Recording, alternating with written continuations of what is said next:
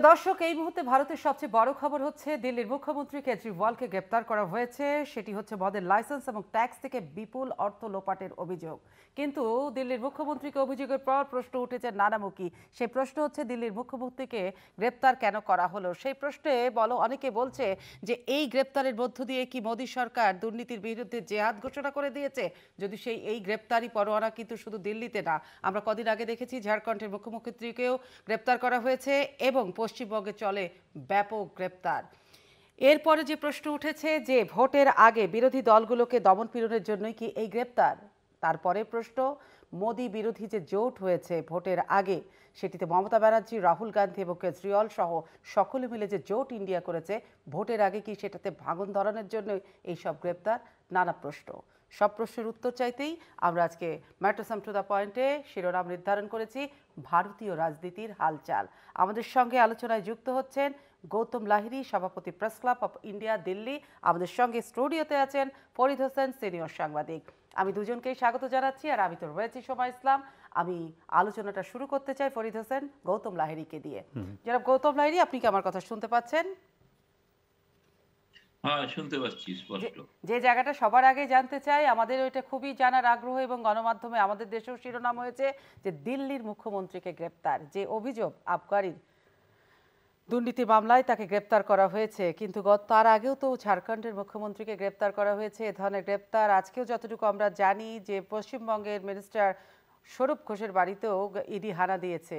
সব কিছু মিলিয়ে এই যে ভোটের আগে এই গ্রেপ্তারগুলোকে এটা কি রাজনৈতিক হিংসা বলব নাকি আসলেই দুর্নীতির বিরুদ্ধে মোদী সরকারের একটা জিরো টলারেন্সের অবস্থান? দেখুন এইগুলো, এই সমস্ত রাজনৈতিক বিরুদ্ধে একটা আর্থিক বেনিয়মের অভিযোগ ছিল এটা কোনো সন্দেহ নেই।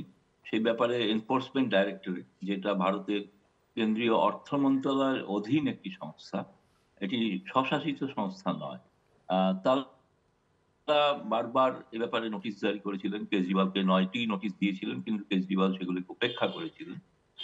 এটা অনেক আগে থেকেই একটা অনুমান হচ্ছিল যে সম্ভবত কেজরিওয়ালকেও এনফোর্সমেন্ট ডাইরেক্টরেট গ্রেপ্তার করতে পারে। হেমন্ত সোরেন পদত্যাগ করার পর গ্রেপ্তার হয়েছেন। কিন্তু অরবিন্দ কেজরিওয়াল এই প্রথম ভারতের একজন ক্ষমতাসীন মুখ্যমন্ত্রী তিনি গ্রেপ্তার হলেন। এটা নিঃসন্দেহে একটা অভাবনীয় ঘটনা যা ভারতে আগে কখনো ঘটেনি। এবং বিরোধীদের সমস্ত প্রশ্নটাই এই কারণেই নরেন্দ্র মোদী সরকারের বিরুদ্ধে যে সময়টা নিয়ে। যখন ভারতে লোকসভা নির্বাচন অষ্টাদশ লোকসভা নির্বাচনের নির্ঘণ্ট প্রকাশিত হয়ে গেছে ঘোষণা হয়ে গেছে এবং আদর্শ আচরণ বিধি যখন দেশে লাগু হয়ে গিয়েছে, সেই অবস্থায় প্রশ্ন হচ্ছে যে দেশের প্রশাসন কি এখনও নরেন্দ্র মোদী চালাবেন নাকি নির্বাচন কমিশন পরিচালনা করবেন? ফলে এই একটি বিতর্ক এই মুহূর্তে রাজনৈতিক মহলে এখানে চলছে। ফলে যে প্রশ্নটা স্বাভাবিক, সাধারণ মানুষ বা অনেকেই তারা মনে করছেন যে নিঃসন্দেহে এটা একটা রাজনৈতিক কোন প্রতিহিংসার কারণে হতে পারে, যেখানে যদি দুর্নীতির অভিযোগ সঠিকও হয়ে থাকে তাহলে সময়টা অত্যন্ত গুরুত্বপূর্ণ হয়ে গেছে। ঠিক নির্বাচনের আসলে এটাই হচ্ছে সিগনিফিক্যান্ট যে সময়টা গুরুত্বপূর্ণ যেখানে সাত দফা ভোটের তফসিল ঘোষণা করা হয়ে গেছে উনিশে এপ্রিল থেকে আপনাদের প্রথম দফা ভোট হবে। কিন্তু এই সময়ে দিল্লির রাজধানীর খোদ রাজধানীর মুখ্যমন্ত্রীকে গ্রেপ্তার করা হলো। কিন্তু প্রশ্ন আরেকটি যে নবার তো তার বিরুদ্ধে সমন জারি হয়েছিল। সেই নবারের কোনো একবারই তাকে গ্রেপ্তার করা হলো না। এই মুহূর্তে এই সময়ে এসে তাকে গ্রেপ্তার। কিন্তু নবারের সমনটাকেই কেন কেজরিওয়াল এড়িয়ে গেলেন? তার পক্ষ থেকে বলা হয়েছিল যে এর অতীতেও আপনি জানবেন যে একই ধরনের দিল্লিতে মদ বন্টনের যে নীতি ছিল সরকারের সেই নীতি সম্পর্কে কেন্দ্রীয় সরকার প্রশ্ন তুলেছিল এবং প্রশ্ন তোলার পর কেজরিওয়াল সরকারের এক মন্ত্রী মনীষ সিসোদিয়া তিনি গ্রেপ্তার হন। তিনি আজ প্রায় ন মাস হলো জেলের অভ্যন্তরে আছেন। এবং তাকে জেরা করার পর যেটা জানা গিয়েছিল যে দক্ষিণ ভারতে তেলেঙ্গানা রাজ্যের যিনি মুখ্যমন্ত্রী কন্যা তার সঙ্গে কোনো লেনদেনের সম্পর্ক ছিল বা তার মাধ্যমে বিদেশে টাকা পাচার করা হয়েছিল, তাকেও গ্রেপ্তার করা হয় এবং তার গ্রেপ্তারের পরেই অরবিন্দ কেজরিওয়ালের বিরুদ্ধে সমন জারি করা হতে থাকে। কিন্তু কেজরিওয়ালের বিরুদ্ধে কিন্তু আগে সরাসরি কোনো অভিযোগ ছিল না। তাকে এই মামলার একজন সাক্ষী হিসেবে বলা হয়েছিল সেই সাক্ষী থেকে অভিযুক্ত হলেন কেজরিওয়াল। এই সময়টা, এই বিষয়টা এখন তো আদালতের বিচার সাপেক্ষ বিষয় এবং ইতিমধ্যেই গতকাল রাতেই কেজরিওয়ালের আইনজীবীরা সুপ্রিম কোর্টে দ্বারস্থ হয়েছিলেন। মধ্যরাতেই যাতে শুনানি হয়, কিন্তু সেটা হয়নি। সেটা আজ হয়তো যে কোনো সময় হতে পারে। আর। হয়তো আদালত এখন শুরু হয়েছে, খুলেছে, হয়তো এখন শুনানি হলেও হতে পারে। সেটা পরবর্তী সময় খোঁজ নিলে জানা যাবে আর কি যে সেক্ষেত্রে কেজরিওয়ালের গ্রেপ্তারটা বৈধ না অবৈধ।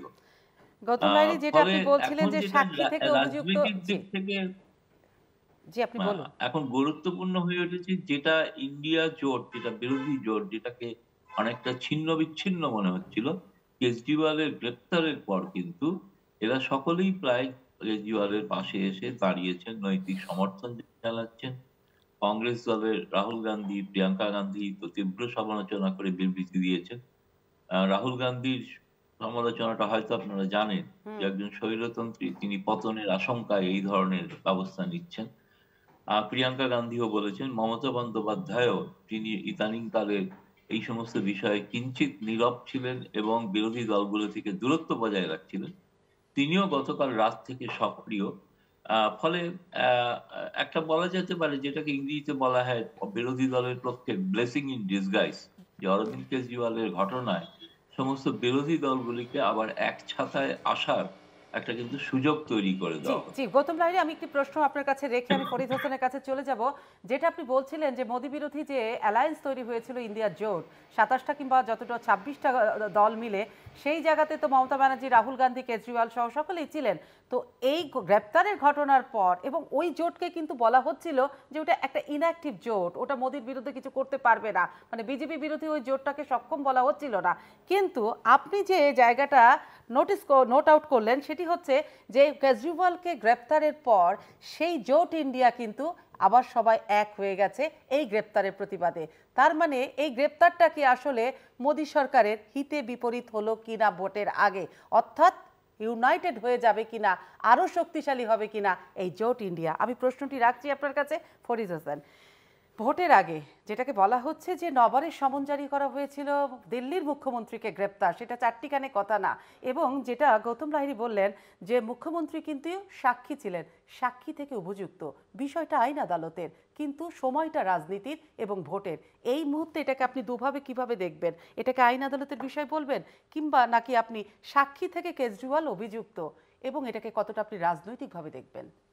ধন্যবাদ আপনাকে। দেখুন, এটা এমন একটা ঘটনা যেটা ঘটেছে, সেটাকে ভারতের কিছু কিছু গণমাধ্যমে আমি দেখেছি যেটাকে বলেছে যে একটা ভূকম্পনের মতো আর কি, একটা সিসমিক মানে ডেভেলপমেন্ট এখন এই জায়গাটা এই কথাটা গৌতম লাহিড়ী বললেন দাদা বললেন যে এটা নিয়ে নানান প্রশ্ন আসছে এবং নবারের সামনের পরেও এই মুহূর্তে করা এবং এমন একটা মুহূর্তে যখন ইতিমধ্যেই নির্বাচনের সময়সূচি ঘোষণা হয়ে গেছে তফসিল ঘোষণা হয়ে গেছে আচরণবিধি এগুলো নিয়ে। এখন মূল কথাটা হচ্ছে দুর্নীতি। আপনি জানেন যে কেজরিওয়ালের এই রাজনৈতিক উত্থানটাই হচ্ছে দুর্নীতির বিরুদ্ধে। এবং দিল্লিতে তিনি ভীষণভাবে জনপ্রিয় তার দল জনপ্রিয় এবং তার দল পাশে গিয়ে আপনার তারা পাঞ্জাবেও কিন্তু সরকারের মধ্যে আছে। এবং তারা দিল্লির থেকে বেরিয়ে মানে একটা সর্বভারতীয় দলে রূপান্তরিত হতে চাচ্ছে। তারা অন্যান্য রাজ্য মানে আম আদমি পার্টি তার। এবং মোদির সঙ্গে ভারতের প্রধানমন্ত্রী নরেন্দ্র মোদির সঙ্গে কেজরিওয়ালের প্রায়শই কিন্তু এই সমালোচনা পাল্টা সমালোচনা এগুলো হয়ে থাকে। এবং কেজরিওয়াল মনে করেন যে মোদি গভর্নমেন্টও কিন্তু দুর্নীতির ঊর্ধ্বে নয়। এবং স্বয়ং নরেন্দ্র মোদীও দুর্নীতির ঊর্ধ্বে নয়। এখন এই যে বললেন যে এই সময়টা নির্বাচন আসছে এবং আপনি জানেন যে এবার তারা বিজেপি গতবারের চেয়ে আরও বেশি আসন তারা নির্ধারণ করছে যে তারা লক্ষ্য নির্ধারণ করছে যে তারা জিততে চায়। এই নির্বাচনের আগে আমি একটা ঘটনার কথা বলি দুই হাজার উনিশ সালে। সে উনিশ সালের ফেব্রুয়ারি চোদ্দোই ফেব্রুয়ারি একটা ঘটনা ঘটলো তখন নির্বাচনের কয়েক মাস আগে। দুই হাজার উনিশে যে নির্বাচনটা হয়েছিল ভারতের পুলামা বলে একটা জায়গা হ্যাঁ, কাশ্মীরে সেই সেখানে একটা বড় ধরনের সন্ত্রাসী আক্রমণ হলো এবং সেখানে চল্লিশ জন ভারতের নিরাপত্তা বাহিনীর সদস্য আপনার সেন্ট্রাল রিজার্ভ পুলিশ ফোর্সের সদস্য তারা মারা যায় এবং যে আত্মঘাতী বোমারুদ উনিও সেও মারা যায়। কিন্তু সেখানে একটা প্রশ্ন উঠেছিল তখন। এটা ভারত জুড়ে তখন এই বিজেপি তার অন্যান্যরা সবাই মিলে এটাকে পাকিস্তানকে দায়ী করে পাকিস্তানের জয়শে মোহাম্মদ বলে একটি সংগঠন আছে সেই তারা দায় স্বীকার করে। এবং তখন একটা উন্মাদনা তৈরি হয়ে যায় বিশেষত বিজেপি আরএসএস এবং এই ধরনের দলগুলোর মধ্যে। এবং এরপরে নরেন্দ্র মোদীর সরকার সেখানে বালাকোট নামে পাকিস্তানের এই জয়শে মোহাম্মদের যে কি বলে যে আস্তানা আছে বলে মনে করে তারা আক্রমণ করে। এবং তখন নরেন্দ্র মোদী ভারতের একমাত্র ভারতকে মানে রক্ষাকারী একজন নেতা হিসাবে তিনি আরও বেশি জনপ্রিয় হয়ে উঠলেন। এবং তখন ওখানকার টেলিভিশনগুলো অনেকগুলো টেলিভিশন তারা মানে উত্তেজিতভাবে অনুষ্ঠানও করেছেন যে উপস্থাপকরা যে কেন ভারত পাকিস্তানকে আক্রমণ করা হচ্ছে না। হ্যাঁ, এবং এবং একটা উন্মাদনা যে উন্মাদনাটা পরবর্তীকালে ওখানকার রাজনৈতিক বিশ্লেষকরা আমরা গণমাধ্যমে যারা দেখেছি বিভিন্নভাবে তারা মনে করেছে যে দুই হাজার চোদ্দোতে বিজেপি যতটা না আসন পেয়েছিল আমি সংখ্যাগুলো মনে নেই তার চেয়ে আরও বেশি আসন পেয়েছিল দুই হাজার উনিশে। এবং এই এইটা একটা বড় ঘটনা। কিন্তু এখানে একটা জিনিস দেখবেন কয়েক কিছুদিন পরে জম্মু অ্যান্ড কাশ্মীরের সেই সময়ের যে গভর্নর সত্যপাল মালিক তিনি একটা বোমা ফাটিয়ে দিলেন। তিনি বললেন যে এই যে আক্রমণটা হয়েছে এই আক্রমণটার জন্য আসলে নরেন্দ্র মোদী নিজেও তাকেই তিনি দায়ী করলেন। কেনভাবে দায়ী করলেন? যে তার সঙ্গে তিনি কথা বলেছিলেন এবং এইটা আক্রমণটা হওয়ার আগে যে এই যে মানে কয়েকশো এই, নিরাপত্তা কর্মীদের বা এদেরকে যে নিয়ে আসা হবে সেখানে তারা এয়ারক্রাফট চেয়েছিল বিমান বাহিনী চেয়েছিল। মানে বিমানে করে তাদেরকে আনা হোক বিমান কিন্তু তা না করে সড়ক পথে আনা হচ্ছিল। এবং তিনি বলেছিলেন যে এটা একটা নিরাপত্তা এবং আমাদের ইন্টেলিজেন্স ফেলিউর বড় ধরনের ইন্টেলিজেন্স ফেলিউর হচ্ছে তার কথা অনুযায়ী তিনি মোদির সঙ্গে কথা বলতে চেয়েছিলেন কিন্তু মোদি তাকে বলেছিলেন যে চুপ করে থাকো। তার মানে এগুলো কি সব পলিটিক্যাল স্ট্র্যাটেজি এই ঘটনাটা পরবর্তীতে হ্যাঁ। একটা বড় ধরনের কি বলে যে মোদি ভূমিকা কি সেখানে সেখানে এটা কেন চুপ করে থাকতে বলা হলো? পরবর্তীকালে সত্যপাল কিন্তু একজন বিজেপির ভাইস প্রেসিডেন্ট ছিলেন এবং একজন বড় মাপের নেতা। তাকে জম্মু আর কাশ্মীর থেকে সরিয়ে নেওয়া হলো। তারপরে সেখান থেকে অন্য আরও দুটা রাজ্যে বোধে তাকে গভর্নর হিসেবে রাখা হয়েছিল। আস্তে আস্তে তাকে কিন্তু কোণঠাসা করে এমন একটা অবস্থা করা হলো যে তার বিরুদ্ধেই নানান ধরনের অভিযোগ এই মানে আনা হলো। তো ভারতে এইরকম নির্বাচনের আগে বা নির্বাচনের পরেও দেখা যাবে যে এই সিবিআই ইডি তাদেরকে রাজনৈতিক হাতিয়ার হিসেবে ব্যবহার করার একটা অভিযোগ আছে। এবং বিরোধী দলের যেটা গৌতম লারিদা বললেন বিরোধী দলগুলো সেই অভিযোগগুলো প্রায়শই করে থাকে। এবং এই নির্বাচনের আগে এটা এটা খুব কষ্টকর হবে নরেন্দ্র মোদীর সরকারের জন্য বিজেপি সরকারের জন্য। এ কথাটা তার নিজের দেশের জনগণকে এবং বাইরেও যারা ভারতের রাজনীতি কী বলে পর্যবেক্ষণ করছেন তাদের নিয়ে কারণ এমন একটা সময় এটা এসছে আপনি যেমন ভারতে আরেকটা ঘটনা ঘটছে এখন কি বলে সিএএ যেটাকে বলা হয় তো সেই জায়গাতে এই নাগরিকত্ব মানে আইনের যে বাস্তবায়ন শুরু হয়ে গেছে হ্যাঁ সেই বাস্তবায়নেও কিন্তু নানান ধরনের কথাবার্তা হচ্ছে প্রতিবাদ হচ্ছে এটা এই সময় কেন করা হলো? কারণ এটা কিন্তু পাশ হয়েছে দুই সালে। নাগরিক আইন যেটা যেটা নাগরিক হ্যাঁ, আইনের এবং বারবার ভোটের সময় দেখি বর্ডার ইস্যু নাগরিক আইন মুসলমান হটাও এই মানে জিনিসগুলো মিলিয়ে হ্যাঁ, আপনার এই সন্দেহটা তো দানাই বেঁধেছে এই সমালোচনাটা এসেছে এবং আমার মনে হয় যে আইনগত দিক যেটাই থাকুক এটা তো তদন্তের ব্যাপার। এবং এই তদন্ত করে বের করবে। আমরা সেখানে আমার মনে হয় না যে আমাদের এখানে বসে আমরা সেটা না আমরা আইনগত দিক নিয়ে কথা বলব না আমরা পলিটিক্যাল স্ট্র্যাটেজি এই রাজনীতি রাজনীতির এই সময়টা এবং এই সময়টা শুধু এই ধরনের ঘটনা শুধু একবারই না আজকেই না এর আগেও যদি দেখেন যে আহ, হয়েছে যেটা আমি পুরো আমার কথা বললাম আপনি অন্যান্য ব্যাখ্যা দিলেন ঘটনাগুলো একটি বলেন হ্যাঁ। কাজেই এটা দানা বাঁধতেই পারে এবং এটা হতেই পারে। মানে এটাকে আমরা খোলা চোখে শুধুমাত্র আইন আদালতের দিক দুর্নীতির বিরুদ্ধে একটা জিরো টলারেন্স একটি সরকারের কেন্দ্রীয় সরকারের সেটা দেখছি না। এখানে ভোটের মুখে দাঁড়িয়ে এটাকে একটা পলিটিক্যাল একটা গেমও গেমের জায়গা থেকেও আমরা দেখছি। মানে আপনি যেটা বললেন সেই ধরনের সমালোচনাকে আপনি উড়িয়ে দেওয়াটা খুব কঠিন। খুব কঠিন। আমি আসব গৌতম লাহিড়ির কাছে আরেকবার যেতে চাই। জনাব গৌতম লাহিড়ি আপনি আমার কথা নিশ্চয়ই শুনতে পাচ্ছেন। আমি একটা ছোট্ট প্রশ্ন রেখেছিলাম সেই জায়গাটাতে এই উত্তরটা নিয়ে আমি আরেকটা প্রশ্নে আপনার কাছে যাব। সেটি আপনার মনে আছে প্রশ্নটি কি করেছিলাম?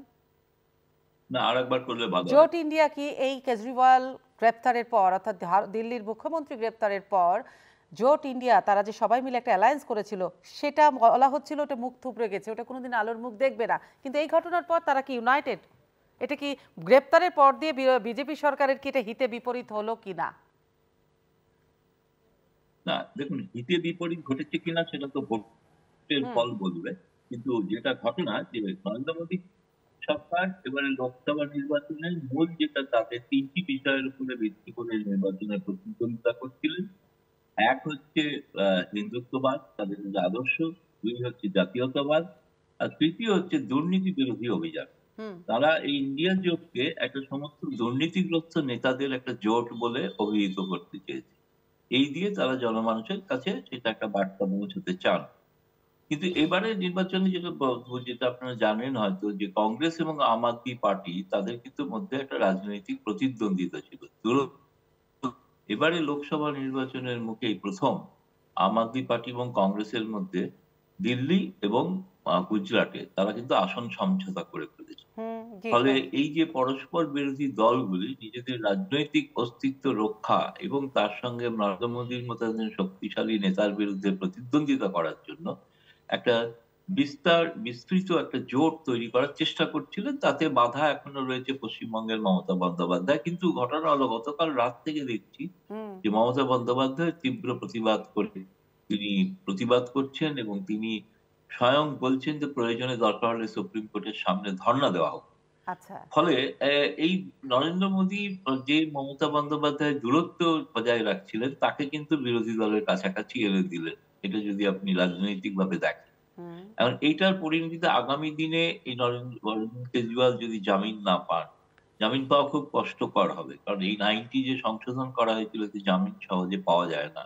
মানে প্রায় বছর কানেক আগে আগে কেউই জামিন পান না। ফলে ধরে নিতে হবে যে অরবিন্দ কেজরিওয়াল জেলের মধ্যেই থাকছেন জেল থেকেই প্রচার করবে জেল থেকে কিন্তু ভারতে অতীতে আমরা দেখেছি বেশ কিছু তিনি নেতা- সরকারও চালাবেন।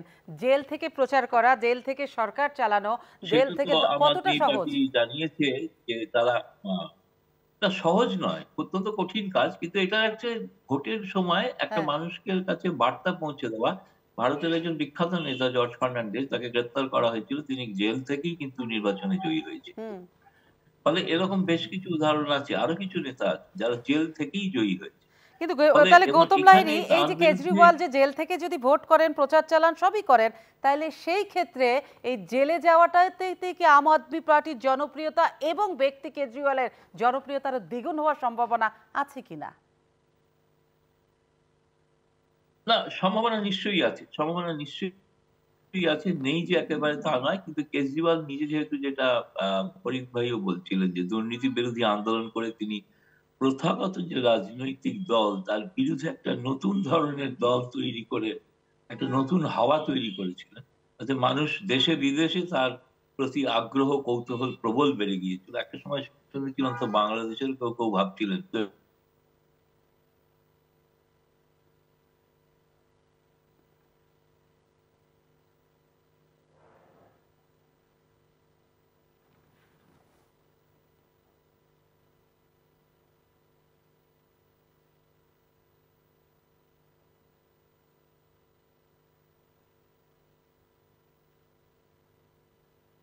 বোধহয় একটু কারিগরি ত্রুটি হচ্ছে ফরিদ হোসেন। আমরা ওনাকে আবার সংযুক্ত করব হয়তো ওনার কথাতে কোথাও নেটওয়ার্কে প্রবলেম হচ্ছে। যেটা বলা হচ্ছিল যে আসলে আপনি বলছিলেন আমরা আন্না হাজারে থেকে পেয়েছি। জি জি বলুন গৌতম লাইরি বলুন।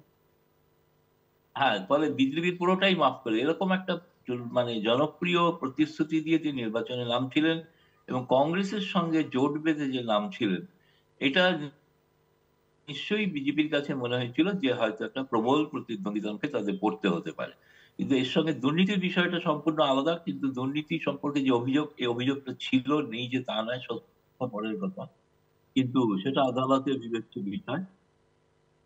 কিন্তু রাজনৈতিক দিক থেকে ভোটের মুখে দুর্নীতিগ্রস্ত হয়েও থাকে, তার থেকেও কিন্তু বড় কথা হচ্ছে এটা মানুষের কাছে বার্তা পৌঁছতে পারে যে বিরোধী রাজনৈতিক দলকে অযথা হেনস্থা করা হচ্ছে নরেন্দ্র মোদী সরকার করছেন। এই বার্তাটা বিরোধী দল কিন্তু পৌঁছে দেওয়ার চেষ্টা করছে।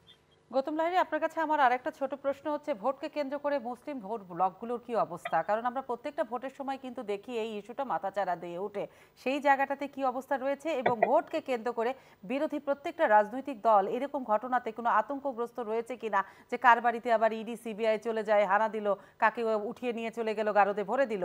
সেই জায়গাটাতে প্রশ্ন যেটা না, ঘটনা। এখন এটাকে না আপনারা তো জানেন তো হয়তো যে গতকাল শীর্ষ নেতারা সভাপতি সোনিয়া গান্ধী, মল্লিকার্জুন খার্গে সভাপতি, তারা একটা সম্মেলন করে জানিয়েছেন যে ভোটের মুখে কংগ্রেস করে দেওয়া।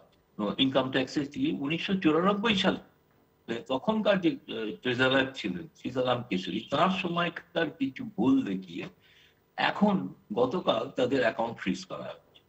ফলে তা সত্ত্বেও কংগ্রেস দল তো ঘোষণা করেছে আমরা জানি এ ধরনের হবে কিন্তু আমাদের এটা মোকাবিলা করতে হবে। কংগ্রেস সহ কিছুরা কংগ্রেসের সহযোগী দলগুলো তারা এটা ধরে নিয়েছেন যে ভোটের আগেই আক্রমণ কিন্তু এই ধরনের তাদের উপরে আক্রমণ ইডি বা সিবিআই আনা বাড়তে পারে যেটা পশ্চিমবঙ্গে তো নিয়মিত আপনারা খবর পাচ্ছেন হচ্ছেও। কিন্তু ঘটনা হচ্ছে যে এই ধরনের ঘটনায় দুর্ভাগ্যজনক হচ্ছে যে দুর্নীতির অভিযোগটা যতটা সত্য তার থেকে বেশি রাজনৈতিক প্রতিহিংসার বার্তাটা বেশি রটে যাচ্ছে। ফলে প্রকৃত দুর্নীতিগ্রস্তরা কিন্তু এক ধরনের সহানুভূতি পেয়েছে। ফলে এইটা একটা অদ্ভুত বিষয়, আমি জানি না কেন কেন্দ্রীয় সরকার, ভারত সরকার এ ধরনের একটা পদক্ষেপ নির্বাচনের ঘোষণা হওয়ার পরে নিচ্ছেন, এতে তাদের সুবিধা হবে কিনা, এটা ভোটের বাক্সই বলতে পারবে। কিন্তু মনে হচ্ছে যে কোনো কারণেই হোক যে কেন্দ্রীয় সরকার চাইছেন যে রাজনীতির থেকেও অন্য কোনো উপায় বিরোধীদের সঙ্গে মোকাবিলা করার পথ নেওয়া প্রয়োজন। সেই কারণেই তারা এই দুর্নীতির বিষয়টাকে সামনে আনতে জনমানুষে প্রমাণ করতে চাইছেন যে এদের ভোট দেবেন না এরা সকলেই দুর্নীতিগ্রস্ত। কিন্তু গৌতম লাহিড়ী আমরা সবসময় তো দেখি ভোটকে কেন্দ্র করে কিংবা পলিটিক্সের সবচেয়ে বড় যে জায়গাটা হচ্ছে বিরোধী পক্ষ বলি আর রুলিং পার্টি বলি তারা যে কোনো লড়াইটা জনপ্রিয়তাটা রাজপথে তাদের শক্তিটা দেখাবে জনগণের শক্তিটা দেখাবে। কিন্তু এই ক্ষেত্রে ভোটের মুখে বিজেপি অর্থাৎ কেন্দ্রীয় সরকার তার জনপ্রিয়তা তার সক্ষমতা কিংবা তার রাজপথের লড়াইটা কতটা রাজপথে দেখাচ্ছে আর কতটা আইন আদালতের মধ্য দিয়ে বিরোধী দলগুলোকে দমন করছে? দেখুন এই মুহূর্তে প্রত্যেকটা রাজনৈতিক দল তাদের নির্বাচনের প্রার্থীকে হবেন। হুম। সেই মনোনয়ন নিয়েই ব্যস্ত। এই মুহূর্তে ধরুন রাস্তায় নেমে যদি আন্দোলন করে এটা ঘটনা যে আপনি রাজপথে আন্দোলন সেভাবে দেখছেন না হয়তো প্রতীকী কিছু দেখতে পারেন কিন্তু কারণ যে প্রত্যেকটা দল এখনও জানেন যেমন ভারতীয় জনতা পার্টি যেমন কংগ্রেস দল সম্পূর্ণ সমস্ত আসনে এখনও প্রার্থী। আজও কংগ্রেসের কেন্দ্রীয় নির্বাচনী সমিতির বৈঠক চলছে তারা বাকি রাজ্যগুলির আহ প্রত্যাশীদের নাম ঘোষণা করবেন। ফলে সেটা থেকে যদি তাদের এখন রাজপথে নামতে হয় তাহলে এই মুহূর্তে প্রার্থী মনে কারণ আগামীকালের মধ্যে প্রথম পর্যায়ের আহ, ভোটের ঘোষণা হয়ে যাবে। প্রথম বিজ্ঞপ্তি জারি হয়ে যাবে। ফলে এই মুহূর্তে প্রত্যেকটা রাজনৈতিক দল নিঃসন্দেহে এটা একটা সংকট তাদের কাছে সংকট। যে বিষয় নিয়ে তাদের রাজপথে নামার কথা ছিল কথা হওয়া উচিত সেটা তারা সময় পাচ্ছেন। আহ, এখন আম আদমি পার্টির পক্ষে তাদের সমস্ত প্রার্থী ঘোষণা করা হয়েছে তারা রাজপথে হয়তো আম আদমি পার্টি রাজপথে নামার ঘোষণাও করতে পারে। কিন্তু বাকি দলগুলি, বড় দলগুলি, যারা বিরোধী দলে রয়েছে, প্রত্যেকেই এখন এই নিয়ে খুবই ব্যস্ত।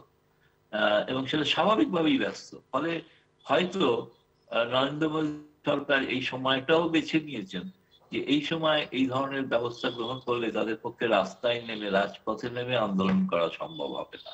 তাদের নিজেদের দলগত অবস্থান, দলের কার সঙ্গে মোর্চা করবেন, কার, কাকে টিকিট প্রার্থী ছেড়ে দেবেন বা ছাড়বেন না এই সিদ্ধান্ত চুলচেরা ভাবে করতে, হয় তো?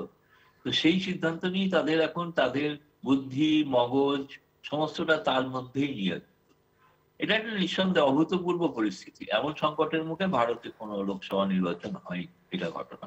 এটাই হচ্ছে বাস্তবতা এবং সবচেয়ে বড় কথা আমি আসব আপনার কাছে, গৌতম রানী ফরিদ হোসেন, আপনার কাছে যাদের, আপনার কাছে যে প্রশ্নটি রাখব, আসলে পলিটিক্যাল স্ট্র্যাটেজি আরও ভয়ঙ্কর, তাই না? যেটা বলছিলেন যে রাজপথে নামার এখন আর কোনো অন্য দলগুলোর অবস্থান নাই। কারণ তাদেরকে প্রার্থী দিতে হবে, তাদের ভোটের ফাইটটা করতে হবে। তাহলে এখন তারা রাজপথ সামাল দিবে, কেজরিওয়ালের পাশে দাঁড়াবে, নাকি তারা ভোট করবে, প্রার্থী দিবে? এবং এই সময়টাকে এভাবেই কেন্দ্রের সরকার কিন্তু বেছে নিয়েছে। এটাকেই বলা হয় যে বোধহয় পলিটিক্যাল ক্যারিশমা এবং সেই পলিটিক্যাল বিজেপি সরকারের পলিটিক্যাল স্ট্র্যাটেজির সাথে বিরোধী পক্ষগুলো বোধহয় পেরে উঠতে পারছে না বলেই আজকে কিন্তু এই অবস্থা। কিন্তু আপনার কাছে যে আমার প্রশ্নটি, দেশের যে পলিটিক্স আসলে তো এরকমই, ভোটকে কেন্দ্র করে, আমরাও তো দেখেছি। না, দেখুন ভারতের জনগণ, সেটা হচ্ছে যে সবসময় ভোট দিয়ে অভ্যস্ত, তারা ভোট, ভোটের রাজনীতিটাই করেন। ভারতের রাজনৈতিক দলগুলো, সেখানে কোনো ভোট বর্জন বলুন বা এই ধরনের কিছু ঘটনা ঘটে গেলে হয়তো আমাদের দেশে হলে অন্যরকম একটা পরিস্থিতি হতো। আম আদমি পার্টি তার নেতা যেভাবে যেই সময় হয়েছে। কিন্তু ভারতের ঘটনাটা অন্য এবং ভারতের রাজনীতি একটা তো বিশাল ব্যাপার বিশাল যজ্ঞ। এবং এই যতগুলো দল সেই দলগুলোর মধ্যে নির্বাচনে আপনি ইন্ডিয়া জোটের কথা বললেন সেই ইন্ডিয়া জোট যখন গঠিত হলো তখন কিন্তু বেশ একটা আলোড়ন তৈরি করেছিল আশার সৃষ্টি করেছিল। কিন্তু তার পরবর্তীতে আবার দুটো একটা রাজ্য নির্বাচন হলো এবং পশ্চিমবঙ্গের মুখ্যমন্ত্রী কংগ্রেস আবার তাদের মধ্যে একটা টানাপোড়েন হ্যাঁ। তৈরি হলো। এগুলো ভারতের রাজনীতিতে বিরোধী দলের ভিতরেও কিন্তু নানান ধরনের সমস্যা আছে। আবার দলগুলোর ভিতরেও কিন্তু সমস্যা আছে। দলের দলেরও যখন এই যে অবস্থাটা আপনার এখন তৈরি হয়েছে যে নির্বাচন সময় তারা কোন প্রার্থী তারা মানে মনোনয়ন দেবেন কাকে দিলে ভালো হবে আগে যাকে দেওয়া হয়েছে এবং এটা বিজেপি তো হয়েছে। বিজেপি তো বোধ দিল্লিতে আমি সংখ্যাটা মনে করতে বেশ কয়েকজন যারা মানে বর্তমানে সংসদ সদস্য আছেন তারা বাদ পড়েছেন আবার নতুন কেউ এসছেন। কাজে এটা তাদের এখন একটা বড় ধরনের যেটা গৌতম লাহিদা বললেন এটা ঠিকই যে এবং এবং নরেন্দ্র মোদীকে আপনি যেভাবেই বা বিজেপি সরকারকে তার নেতৃত্বে এবং তার সঙ্গে যে তার একজন বড় চরম মানে ডান হাত অমিত শাহ ভারতের স্বরাষ্ট্রমন্ত্রী তারা যে ধরনের বসে মানে রাজনৈতিক কলাকৌশল করে, বিরোধী দলকে কোথায় আটকাতে হবে, কোথায় তাদেরকে ঘা দিতে হবে, কোন পরিস্থিতিটা তৈরি করলে তাদের পক্ষে ভোট বাক্সে বেশি ভোট পড়বে এই জিনিসগুলো তো তারা দেখা গেছে যে গত দুই হাজার চোদ্দোতে, দুই হাজার উনিশে এই কাজটি করতে গিয়ে বিরোধী দলের চেয়ে তারা অনেক বেশি পারঙ্গমতা দেখিয়েছেন।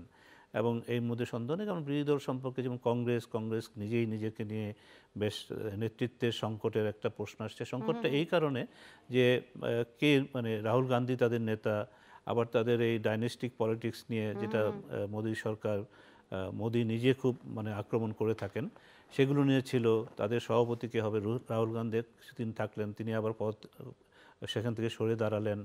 এবং এই নানামুখী যে অবস্থাগুলো দুর্বলতা সেই দুর্বলতাগুলোকে বিজেপি এবং নরেন্দ্র মোদী এবং তার যারা নীতি নির্ধারকরা আছেন তারা বেশ ভালোভাবেই কাজে লাগাতে তার পারছেন। মানে ফরিদ হোসেন আপনি কি এটা বলতে চান যে নরেন্দ্র মোদীর পাশে দাঁড়াবার মতো অন্যান্য বিরোধী দলগুলো এখনও তাকে মানে সমকক্ষ এখনও হয়ে ওঠেনি কেউ? যেহেতু অমিত শাহর মতো মানুষ আছেন নরেন্দ্র মোদী আছেন তাদের যে যে বিগ হেভিওয়েটরা আছেন এবং তাদের যে থিঙ্ক ট্যাঙ্ক আছে বিজেপি সরকারের সেই জায়গাতে তুলনা করলে অন্যান্য রাজনৈতিক দলগুলো নরবরে অবস্থানে আছেন অর্থাৎ বিরোধী দলগুলো? না অবশ্য সেটা তো ঠিকই আমরা তো দেখতেই পাচ্ছি। কারণ ভারতে এখন কিন্তু নরেন্দ্র মোদী তার যত শত সমালোচনা সত্ত্বেও বিরোধী দল তাকে যেভাবে তাকে অনেক সময় এখন এক নায়ক হিসাবে চিত এক ধরনের ব্যবহার করে থাকেন। তিনি নিজে বিরোধী দলকে মানে তার টুটি চেপে ধরার কথা বলছেন বিরোধী দলরা সেই ধরনের অভিযোগ করছেন। পাকিস্তানের যে কি বলে যে কে সামনে এনে এবং তারা যে পাকিস্তানকে একটা তাদের জন্য ভয়াবহ একটা আশঙ্কা মানে আমরা যেটা দেখেছিলাম সার্জিক্যাল স্ট্রাইক যেটা যাচ্ছে, সবসময় হ্যাঁ সেগুলো হ্যাঁ, করছে। কিন্তু এরপরও কিন্তু তিনি খুব জনপ্রিয়। হ্যাঁ। যেটাকে বলা হয় না যে এক- ধরনের ক্যারিসমা আছে তার এবং তিনি তার কথা শুনছে, তেমন বিশেষত হিন্দু, হিন্দি বেল্টের যে জায়গাগুলো, সেখানে তার দল এবং তার নিজের জনপ্রিয়তাটা অনেক বেশি। তার সমকক্ষ বিরোধী দলের সেই ধরনের নেতা কিন্তু এখন নেই। সেই ক্ষেত্রে কেজরিওয়াল একজন বড় চ্যালেঞ্জ নরেন্দ্র মোদীর জন্য। সেই ক্ষেত্রে কখনো কখনো মমতা ব্যানার্জিকে সামনে তুলে আনা হয়। কখনো কখনো রাহুল গান্ধী সামনে চলে আসে। কিন্তু গত দুই হাজার চোদ্দ বিশেষত দুই হাজার উনিশের নির্বাচনে যে ঘটনা ঘটেছে তাতে দেখা গেছে যে এখনও তার সমকক্ষ কেউ হতে পারছে না জনপ্রিয়তার দিক থেকে। এখন দেখুন জনপ্রিয়তা একটা জিনিস এবং আরেকটা হচ্ছে যে জনপ্রিয় হলেই যে আপনি একজন সুশাসক হয়ে গেলেন তা না। জনপ্রিয়তা হলেই কিন্তু একটা দল সুশাসনের মানে করতে পারে- করে তা না। এবং জনপ্রিয়তা নানান কারণে হয় নানান ধরনের অবস্থার মধ্যে দিয়ে হয়। অনেক এ, ভারতের হয়তো মানে। এমনও মানে ভোটাররা আছেন জনগণ আছেন তার মধ্যে দিয়ে তারা ভারতের ভারত এখন নতুন এক ধরনের আশঙ্কার মানে আকাঙ্ক্ষার দিকে আছেন ভারতের জনগণের একটা আকাঙ্ক্ষা যে আমরা বিশ্ব নেতা হব বিশ্বে আমাদের অবস্থান রাখব হ্যাঁ। এবং এই যে হিন্দুত্ববাদ হ্যাঁ হিন্দুত্ববাদ যে জিনিসটা সেটাও কিন্তু ভারতে তাদের এক ধরনের নতুন একটা কি বলে পরিস্থিতি তৈরি করেছে একটা নতুন ইডিওলজি নিয়ে এসে এবং সেই ক্ষেত্রে আপনি দেখবেন যে অনেকগুলো ঘটনা সেখানে মুসলমানদের অবস্থান এবং পাকিস্তানকে তারা মানে কী অবস্থানে তারা রাখে সেটাকে দেখে এবং আমরা যে কথাটা বললাম যে একটা বৈশিষ্ট্য আমি লক্ষ্য করেছি এটা তো মানে আমার। দিক থেকে যেটা যে জাতীয় নির্বাচন এলে বিজেপি এবং নরেন্দ্র মোদী তারা এমন কতগুলি পরিস্থিতি তৈরি করেন যেটা তারা মনে করেন যে তাদের পক্ষে যাবে বিগত নির্বাচনগুলোতে তাদের পক্ষেই গিয়েছে পুলওয়ামা একটা বড় ঘটনা সেক্ষেত্রে। এবং এবারের এই ঘটনাটা কি হবে এটা তো বলা যাচ্ছে না। কারণ এটা কেজরিওয়াল খুবই জনপ্রিয় দিল্লিতে এবং সারা ভারতেই তার একটা সুনাম আছে। সেই ক্ষেত্রে এখানে আঘাত আঘাত করার পরে এটার প্রতিক্রিয়াটা কি হবে সেটা আমাদের দেখতে হবে।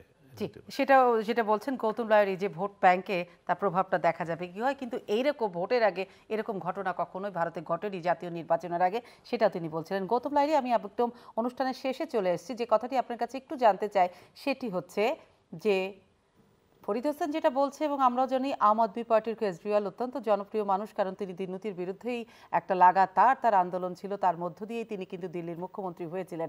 এখন দুর্নীতির অভিযোগেই তাকে আবার গ্রেপ্তার হতে হলো। সেটি, এইটাতে আম আদমি পার্টির জনপ্রিয়তায় ধস নামবে? নাকি এই ধরনের গ্রেপ্তার যে ইডি, সিবিআই দিয়ে করা হচ্ছে, দুর্নীতির বিরুদ্ধে মোদী সরকার করছে, সেখানে মোদী সরকারের জনপ্রিয়তায় কোনো ধরনের ফাটল ধরছে, যেটা ভোট ব্যাংকে, যেটা ভোটের দিন প্রভাব পড়বে, এরকম কি কিছু আছে?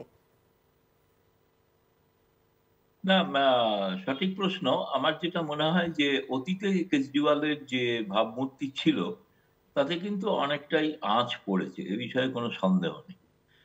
কারণ দিল্লিতে যে বিষয়টা নিয়ে কেন্দ্রীয় সরকার তাদের বিরুদ্ধে অভিযান করছেন বা চালাচ্ছেন বা গ্রেপ্তারও করলেন, সেই ধরনের একটা জনতার মধ্যেও কিন্তু একটা পারসেপশন যদি বলা যায়, একটা পারসেপশন ছিল যে সবটা নীতিগত বা বিধি সম্মতভাবে হয়নি আজ থেকে দশ- বছর পরে প্রশাসক কেজরিওয়াল, তিনি অন্য যে কোনো নেতার মতোই একটা হয়ে উঠেছে রাজনৈতিক আমূল একটা সংস্কার করে দেবেন বলে দুর্নীতি মুক্ত শাসন গায়ে যেটা আঁচ পড়ল, এটাতে তার ভোটারদের প্রভাব ফেললেও ফেলতে পারে, যেটা বিজেপি করছে। যদিও লোকসভা নির্বাচনের নিরিখে কিন্তু বিজেপি গত নির্বাচনের ফলাফল বিশ্লেষণ করলে দেখা যায় বিজেপি কিন্তু সাতটি আসনেই পঞ্চাশ শতাংশের বেশি ভোট পেয়েছে। ফলে আজও যদি কেজরিওয়াল এবং কংগ্রেস যে বিজেপিকে হারাতে পারবেন সেই অঙ্কের হিসাবে সেটা কিন্তু বলছে না। কিন্তু ভোটে সবসময় অঙ্কের হিসাব তো হয় না একটা রসায়নও কাজ করে। ফলে রসায়নটা হচ্ছে এই ঘটনায় কি প্রতিক্রিয়া দেবে এটা আমার মনে হয় আরও এক দুদিন ব্যাপার আছে। আরও আটচল্লিশ ঘণ্টা দেখলে হয়তো বোঝা যাবে যে কেজরিওয়ালের পক্ষে জনসমর্থন কতটা বাড়ছে। কিন্তু এটা ঘটনা সাধারণ মানুষ কিন্তু এটা আমি কথা বলে দেখেছি তাদের অনেকেরই ধারণা রাজনীতিতে যে আছে সেই দুর্নীতি করে কিন্তু ভোটের আগে ব্যবস্থা নেওয়াটা ঠিক হয়। এটা অনৈতিক হয়েছে। আচ্ছা। এটাও অনেকে বলছে না। কিন্তু আচ্ছা। স্বাভাবিক বিজেপির যারা সমর্থক বা ভোটার তারা মনে করছেন সঠিক এই ব্যবস্থাটা আরও আগেই নেওয়া উচিত। ঘটনাটাই আগে নেওয়া উচিত ছিল এই বিষয়ে কোনো দ্বিমত নেই। মানে সময়টা ভোট ঘোষণা হওয়ার পরে হঠাৎ ভোটের পর সাধারণত আমরা জানি যে প্রশাসন কিন্তু সম্পূর্ণ নির্বাচন কমিশনের হাতে থাকে। আমরা এখনও জানি না যে গ্রেপ্তারের আগে নির্বাচন কমিশনের অনুমতি নেওয়া হয়েছিল কি? জি আমি এই প্রশ্নটাই হ্যাঁ, আপনাকে করতে চাই গৌতম আমি এই প্রশ্নটাই আপনাকে করতে চাই সেটি হচ্ছে যে আমরা পশ্চিমবঙ্গ থেকে সবগুলো রাজ্যে দেখছি সিবি এর হানা। সেই জায়গাতে একটা বড়সড় প্রশ্ন সবসময় যে রাজ্য সরকারের যারা প্রধান থাকে সুপ্রিমোরা তারা কিন্তু তুলছেন এবং তাদের মন্ত্রী এবং এবিএটরা তুলছেন যে সিবিআই এবং ইডি কতটা নিরপেক্ষ নাকি তারা মোদী সরকার দ্বারা নিয়ন্ত্রিত? এই মুহূর্তে এটা পারসেপশন যে মোদী সরকার দ্বারা নিয়ন্ত্রিত মানে সিবিআই ধরুন স্বশাসিত সংস্থা কিন্তু হ্যাঁ। তার স্বশাসন নিয়েও প্রশ্ন উঠে গেছে। ইডি কিন্তু স্বশাসিত সংস্থা নয় এটি সরকারের একটি দপ্তর। ফলে মোদী সরকারেরই দপ্তর। ফলে মোদী সরকারের একটি বিভাগ কি ব্যবস্থা নেবেন? সেই সরকারের যিনি মাথা তার যিনি অর্থমন্ত্রী তার নির্দেশেই অঙ্গুলি হেলন করবেন। আহ, এটা সহজেই অনুমেয় কিন্তু এটা ঘটনা যে দুর্নীতির অভিযোগটা বিরোধী দলের গায়ে লেপে দেওয়ার ফলে জনতার মধ্যে কিছুটা বিভ্রান্তি আছে। বিভ্রান্তি আজ নেই যে তা না। সবকিছু মনে করছেন যে এটা রাজনীতি বা আজকাল দুর্নীতি না খুব বড় ইস্যু হয় না রাজনীতির ভোটের সময়। কারণ তারা জানে রাজনৈতিক নেতা দুর্নীতিগ্রস্ত হবেন না এটাই বোধ স্বাভাবিক ঘটনা। দুর্নীতি করবেন কম বেশি।